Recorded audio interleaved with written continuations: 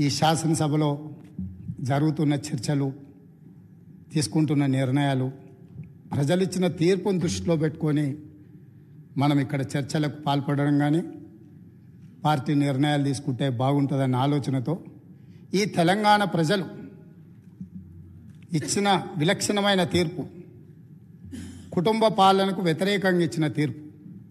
ఈ కుటుంబ పాలనకు వ్యతి కుటుంబ పాలనకు వ్యతిరేకంగా ప్రజలు ఇచ్చిన తీర్పును గౌరవించాలన్న ఆలోచన ఆ పక్షాన లేదు. రెండవది కనీసం శాసనసభలో ప్రసంగమైన ప్రజల యొక్క సమస్యల్ని ప్రస్తావించడానికైనా అనుభవజ్ఞులైన చాలామంది శాసనసభ్యులు గతంలో చాలా సంవత్సరాలుగా మంత్రులుగా పనిచేసిన అనుభవం ఉండి ఉప ముఖ్యమంత్రులుగా పనిచేసిన అనుభవం ఉన్న వాళ్ళైన చర్చను ఒక మంచి సాంప్రదాయాన్ని నెలకొల్పడానికి ప్రారంభిస్తారేమో అని మేము అనుకున్నాం. అయినా కూడా తెలంగాణ ప్రజల్ని నిరాశపరిచిండ్రు ఇక్కడ కూడా ఇక్కడ కూడా కుటుంబానికి తప్ప అర్హులకు ఎవరికీ అవకాశం లేదు. అర్హులకి ఇక్కడ స్థానమే లేదు అని చెప్పి చర్చను ప్రారంభించడం ద్వారా ఈ పార్టీ కుటుంబ పాలనకే పరిమితం అవుతుంది ప్రజాస్వామిక విలువలకు.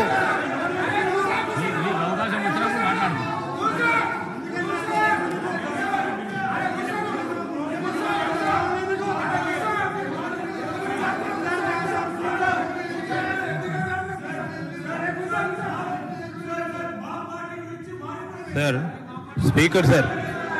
Speaker sir. Speaker sir I request honourable members. ఎందుకంటే గౌరవ ముఖ్యమంత్రి గారు జస్ట్ స్టార్ట్ చేసిండ్రు డిస్కషన్. మీరందరూ కూడా వినే ఓపికతో వినండి. మీనింగ్ఫుల్ డిబేటే జరిపిద్దాం. మీనింగ్ఫుల్ డిబేటే జరిపిద్దాం.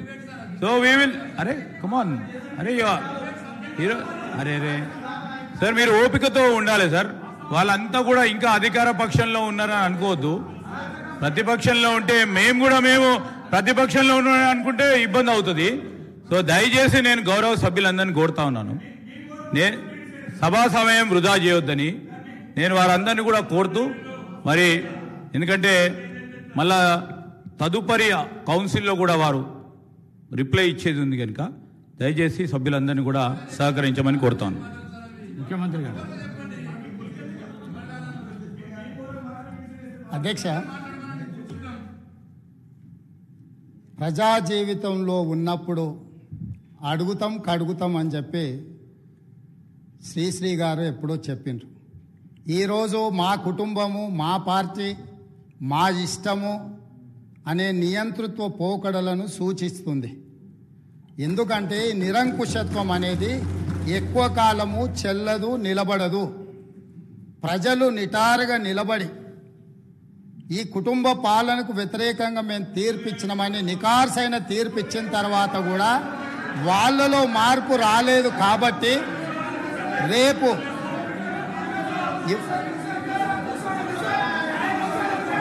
నిన్న నిన్- నిన్న ఇక్కడున్న వాళ్ళను అక్కడికి పంపినరు. ప్రజా తీర్పును గౌరవించకపోతే అక్కడున్న వాళ్ళను అక్కడికి పంపుతారు. బయటికి. కాబట్టి వాళ్ళ ఇష్టము. వాళ్ళు ఇట్లా ఉండకుంటే మంచిదని నేను అనుకుంటున్నాను మేము ఇట్లనే ఉంటామంటే వాళ్ళని ఎక్కడికి పంపించాలనో ప్రజలకు తెలుసు కాబట్టి నాకేం అభ్యంతరం లేదు. ఇది వాళ్ళ పార్టీ ఇష్టం. అదే విధంగా అదే అదే- అదే విధంగా ఈ- అదే విధంగా ఈరోజు ప్రగతి భవన్ సంబంధించి అక్కడ ప్రజలు ప్రజావాణి కోసం వచ్చిన ప్రజలు ఇస్తున్న విజ్ఞప్తులను తీసుకుంటుంటే అక్కడ ఉన్న ఇనుప కంచెలను పగలగొట్టి గడీలను బద్దలు కొట్టి ప్రజలు అక్కడికి వచ్చి ప్రజావాణి వినిపిస్తుంటే విని భరించలేని ఈ పార్టీ ఈ కుటుంబము ఈరోజు ప్రభుత్వం మీద అన్న ఈరోజు ఈ ప్రజలు ఇచ్చిన తీర్పును గౌరవించే కాంగ్రెస్ పార్టీ ప్రగతి భవన్ గేట్ల ముందు ఉన్న ఇనుప కంచెలను బద్దలు కొట్టి ప్రజలకు ప్రజలకు ప్రవేశమే లేదు. తెలంగాణ ప్రజల యొక్క చెమట వాసన మేము చూడము. ఇది నిషేధిత ప్రాంతమని నిషేధించిన ఆ ప్రగతి భవన్లో ఎల్బీ స్టేడియంలో మా ప్రభుత్వం ప్రమాణ స్వీకారం చేస్తున్న ఒక గంట నాలుగు నిమిషాలకు ఆ గేట్లు బద్దలు కొట్టి తెలంగాణ నాలుగు కోట్ల ప్రజలకు ప్రవేశం కల్పించింది మా పార్టీ మా ప్రభుత్వం. మీకు గతాన్ని గుర్తు చేయదలుచుకున్నా ఆనాడు హోంమంత్రి మహమూద్ అలీ గారు అక్కడికి వెళ్ళి ముఖ్యమంత్రి గారిని కలవడానికి వెళితే ఒక హోంగార్డు మీకు అనుమతి లేదు మీకు ప్రవేశము లేదు మిమ్మల్ని లోనికి రానివ్వము అని చెప్పి వారిని అవమానించి ఒక హోంగార్డు హోంమంత్రిని వెనక్కి తిప్పి పంపించిన చరిత్ర చరిత్ర పుటలలో నిక్షిప్తమై ఉన్నది. ఆనాటి ఆర్థిక మంత్రి ఆనాటి వైద్య ఆరోగ్య శాఖ మంత్రి ఈటల రాజేందర్ గారు ముఖ్యమంత్రిని కలవడానికి అక్కడికి వెళితే అక్కడ ఉన్న పోలీసు సిబ్బంది మీకు ప్రవేశము లేదు మిమ్మల్ని నిషేధించినము మీకు అర్హత లేదు మీకు ఆ స్థాయి లేదు అని చెప్పి ఈటల రాజేందర్ గారిని ఆ ప్రగతి భవన్లకు ప్రవేశం లేదని తన సహచర మంత్రిని అవమానించి ఆ మంత్రే స్వయంగా కన్నీళ్ళు పెట్టి ఈ ఆవేదనను ఈ దుఃఖాన్ని లోపల అదిమి పెట్టుకున్న విషయాన్ని నాలుగు కోట్ల తెలంగాణ ప్రజలకు వివరించినప్పుడు తెలంగాణ సమాజమంతా తెలంగాణ సమాజమంతా దీన్ని గమనించింది. ఇదే కాదు ప్రజా యుద్ధ నౌక ప్రజా యుద్ధ నౌక ప్రజా యుద్ధ నౌక. గద్దరన్న యాభై సంవత్సరాలు సుదీర్ఘంగా ఈ తెలంగాణ ప్రజల పక్షాన గలం విప్పి గజ్జగత్తి గొంగళేసుకొని తండాలలో గూడాలలో మారుమూల పల్లెల్లో ఈ దేశంలోనే వంద కోట్ల ప్రజలను ప్రభావితం చేయగలిగిన గద్దరన్న ఆనాటి ముఖ్యమంత్రి గారిని కలవడానికి ఆ ప్రగతి భవన్ గేట్ల ముందు ఎర్రటెండలో మండు మండుతుంటే అక్కడ గంటల కొద్ది నిలబడితే ఈ తెలంగాణ యుద్ధ నౌక ఈ తెలంగాణ పోరాటానికి తెలంగాణ ప్రజల యొక్క ఆత్మగౌరవమైన గద్దరన్నకే ప్రవేశం లేని ప్రగతి భవన్ను ఇవాళ బద్దలు కొట్టి నా నాలుగు కోట్ల తెలంగాణ ప్రజలు ఎప్పుడు కావాలన్నా ఎప్పుడు కావాలన్నా ఎక్కడికి వెళ్ళాలన్నా ఆ ప్రగతి భవన్లు గేట్లను ఇనుప కంచెల్ని బద్దలు కొట్టిన ప్రభుత్వం మా ప్రభుత్వం ప్రజలెన్నుకున్న ప్రభుత్వం ప్రజా ప్రభుత్వం. కాబట్టి ఆనాడు ముఖ్యమంత్రిని కలవాలంటే మంత్రులకు ప్రవేశం లేదు. ముఖ్యమంత్రిని కలవాలంటే తెలంగాణను సాధించిన తెలంగాణ ఉద్యమానికి ఊపిరులూదిన గద్దరన్నకు ప్రవేశం లేదు. కానీ ఈనాడు దళితులు గిరిజనులు బలహీన వర్గాలు మైనారిటీలు మహిళలు ఎవరైనా అక్కడికి వెళ్ళి మా సమస్య ఉన్నది అని అంటే ఈ ప్రభుత్వం వినడానికి సిద్ధంగా ఉన్నది అని చెప్పి ఈ తెలంగాణ ప్రజలకు స్వేచ్ఛనిచ్చిన ప్రభుత్వం ప్రజా ప్రభుత్వం ప్రజలెన్నుకున్న ప్రభుత్వం ఈరోజు ఇక్కడ ఉన్నది. నిజంగానే ఈ ప్రభుత్వం నియంతృత్వ పోకడలతో పోవాలి అనుకుంటే నిర్బంధాలతో పరిపాలన సాగించాలి అని అనుకున్నుంటే ఇక్కడ అంతసేపు వాళ్ళు ఎవరు మాట్లాడినా సంవయనంతో ఇక్కడ వింటూ కూర్చుండే వాళ్ళం కాదు. ఆనాడు రెండు వేల పద్నాలుగు తెలంగాణ రాష్ట్రంలో తెలంగాణ ప్రభుత్వం ఏర్పడిన తర్వాత జరిగిన చర్చలలో మేమందరం సభ్యులుగా ఇక్కడ నిలబడి సమస్యల మీద మాట్లాడినప్పుడు మార్షల్స్ను పెట్టి గొర్రెలను ఈడ్చినట్టు ఈడ్చి బజార్లు పడేసి ప్రజాస్వామ్యాన్ని కూని ఇక్కడనే చేసిన వాళ్ళు ఇవాళ అక్కడ కూర్చున్నారు. వాళ్ళలాక మేము కాదు. ఇదే కాదు గవర్నర్ గారి ప్రసంగంలో ఆనాడు ప్రజలకు వాళ్ళు ఇచ్చిన హామీలు ఈ మంత్రివర్గం తీర్మానం ద్వారా గవర్నర్ గారి ప్రసంగంలో పెట్టలేదు అని పెడితే బాగుంటుందని చర్చించడానికి నిలబడ్డ ఆనాటి నా సహచర శాసనసభ్యులు కోమటిరెడ్డి వెంకటరెడ్డి గారిని సంపత్ కుమార్ను శాసనసభ సభ్యత్వాన్ని రద్దు చేసి నిరంకుశ నియంతృత్వ పోకడలతోని నిర్ణయాలు తీసుకున్న వాళ్ళు శాసనసభలో గవర్నర్ రంగరాజన్ గారు ఇక్కడ ఉన్నప్పుడు ఆనాటి శాసనసభ్యులు చేసిన గందరగోళంలో పది వంత పది శాతమైనా కూడా కోమటిరెడ్డి వెంకటరెడ్డి గారు సంపత్ కుమార్ గారు చెయ్యలే. కూర్చున్న సీట్ల నుంచి లేచి నిలబడి నిరసన తెలిపినందుకు నిరంకుశత్వంగా ఇద్దరి శాసనసభ సభ్యత్వాలు రద్దు చేసిన చీకటి రోజులు ఇక్కడనే జరిగినాయి. ఈ సంఘటనలు చరిత్ర మర్చిపోదు. ఈ సంఘటన తెలంగాణ శాసనసభ చరిత్రలో శాశ్వతంగా ఉంటుంది. ఆ సంగతిని కూడా నా మిత్రులకు నేను గుర్తు చేయదలుచుకున్నా. అదేవిధంగా అధ్యక్ష ఈరోజు ఎన్నికల సమయంలో మేము ఏమి హామీలు ఇచ్చినామో ప్రభుత్వం ఏర్పడిన మొదటి రోజే మొట్టమొదటి మంత్రివర్గ సమావేశాన్ని ఏర్పాటు చేసి ఆరు గ్యారంటీలను చట్టబద్ధత మంత్రివర్గంలో కల్పించి ఈరోజు ఇదే ఇదే సమస్య. మేనేజ్మెంట్ కోటాలు వస్తే అధ్యక్ష ఈ ప్రాబ్లమ్స్ ఉంటాయి. మేనేజ్మెంట్ కోటాలు వస్తే ఈ ప్రాబ్లం ఉంటుంది. మంత్రివర్గంలో మంత్రివర్గంలో పాలసీలను ఆమోదించుకొని చట్టాలు చేసేది చట్టసభలో చేస్తారు. చట్టాలు మంత్రివర్గంలో చేయరు అధ్యక్ష. చట్టం ఎక్కడ జరుగుతుంది? శాసనసభలో జరుగుతుంది. కాబట్టి మంత్రివర్గంలో తీసుకున్న విధానపరమైన నిర్ణయాలను చట్టబద్ధత కల్పించి చట్టం చేసేదే ఈ శాసనసభ.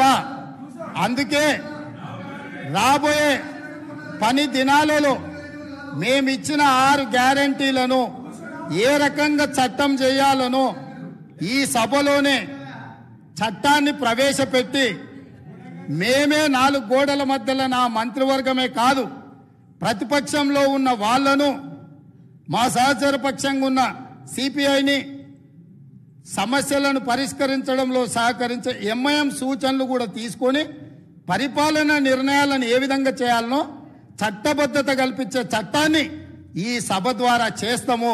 ఇందులో ఉన్న తేడాను మేనేజ్మెంట్ కోటాలో వచ్చిన వాళ్ళు గమనించాల్సిందిగా నేను కోరుకుంటున్నాను అధ్యక్ష.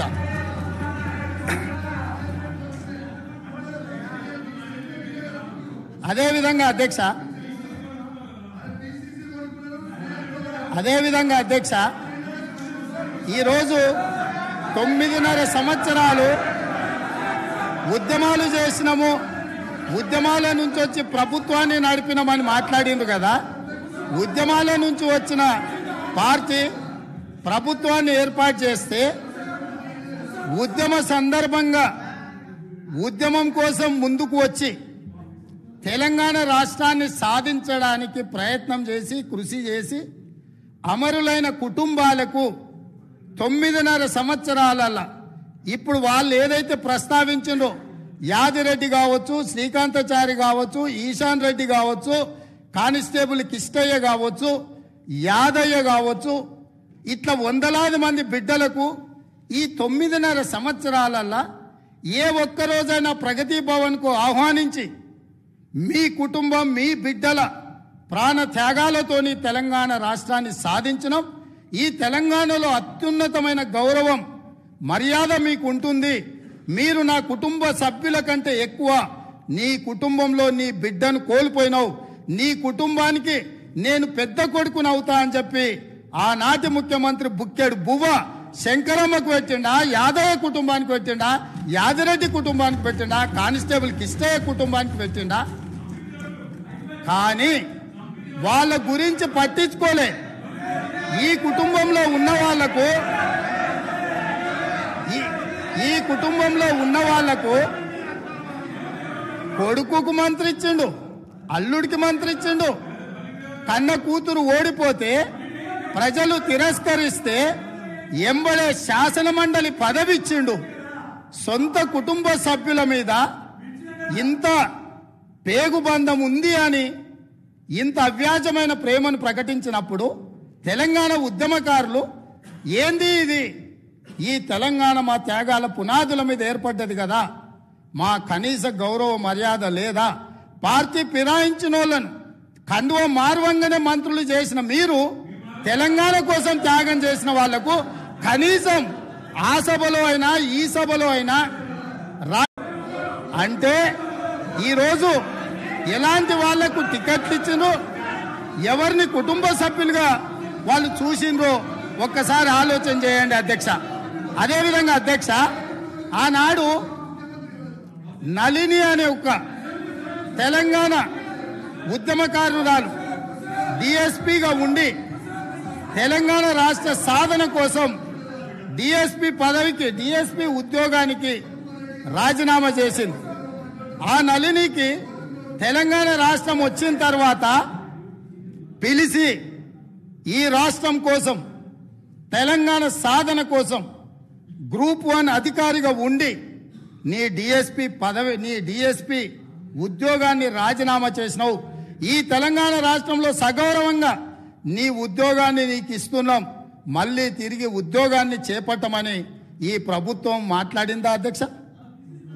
కానీ ఒక తెలంగాణ రాష్ట్ర సాధన కోసం త్యాగం చేసిన నళినికి మాత్రం ఎలాంటి న్యాయం జరగలేదు. నిజామాబాద్ ప్రజలు ఎంపీగా ఓడగొడితే ఎంబడే శాసన మండలి పదవి ఇచ్చి మాత్రం తన కుటుంబాన్ని కాపాడుకున్న ప్రభుత్వం పార్టీ ఈ పార్టీ అధ్యక్ష. వీళ్ళు ఈరోజు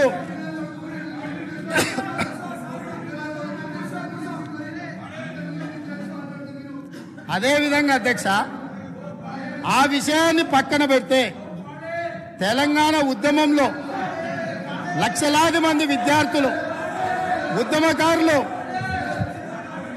తెలంగాణ ఉద్యమంలో కేసులు కట్టుకుంటే వాళ్ళ మీద నమోదైన కేసులు ఇప్పటి వరకు పది సంవత్సరాలైనా ఆ తెలంగాణ ఉద్యమకారుల మీద నమోదైన కేసులను తొలగించాలన్న ఆలోచన ఎప్పుడైనా చేసిండ్రా? నేను ఈరోజు మీ ద్వారా అడగదలుచుకున్నా. ఈరోజు మీ ద్వారా తెలంగాణ ప్రజలకు నేను చెప్పదలుచుకున్నా. జూన్ రెండు రెండు వేల పద్నాలుగు నాటికి తెలంగాణ రాష్ట్రం ఏర్పడే రోజుకు గౌరవనీయులైన మాజీ ముఖ్యమంత్రి వర్యులు కల్వకుంట్ల చంద్రశేఖరరావు గారు వారి కుటుంబ సభ్యుల మీద ఉన్న ఉద్యమ కేసు ఎన్ని? తెలంగాణలో లక్షలాది మంది విద్యార్థులు నిరుద్యోగ యువకులు ఉద్యమకారుల మీద ఉన్న కేసులు ఎన్ని? ఈ తెలంగాణ రాష్ట్రం ఏర్పడ్డ తర్వాత వాళ్ళ ప్రభుత్వం ఏర్పడ్డ తర్వాత వాళ్ళ మీద తీసిన కేసులన్నీ తీసుకున్న ప్రత్యేక కార్యాచరణ తెలంగాణ బిడ్డల మీద ఉన్న ఉద్యమ కేసులను తొలగించినవన్నీ వాటి మీద ఎప్పుడైనా ఆనాటి ముఖ్యమంత్రి గారు సమీక్ష చేసి ఈ కేసులు ఈ కేసులు వాళ్ళ మీద ఉంటే భవిష్యత్తులో వాళ్ళ ఉద్యోగాలకు ఇబ్బంది అవుతుంది.